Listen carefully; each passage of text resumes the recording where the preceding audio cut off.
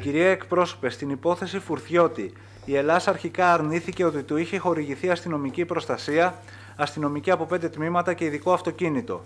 Εν συνεχεία ενημερωθήκαμε ότι το αφαιρέθηκε η αστυνομική προστασία που δεν είχε σύμφωνα με την Ελλάδα. Για την κυβέρνηση υπάρχει θέμα παρετήσεων της πολιτικής ή φυσικής ηγεσίας. Σκέφτεται η κυβέρνηση να αναθεωρήσει το πλαίσιο της αστυνομικής προστασίας ώστε να μην πληρώνουν οι Έλληνες φορολογούμενοι τη φύλαξη προσώπων όπως ο κύριος Φουρτιώτης.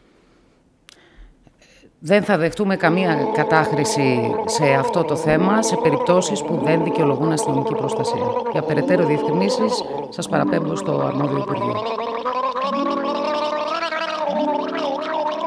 Στο διάλογο ανώμαλοι όλοι, κουμουνι, κουμούνια ανώμαλα, όλα κουνούμαλα.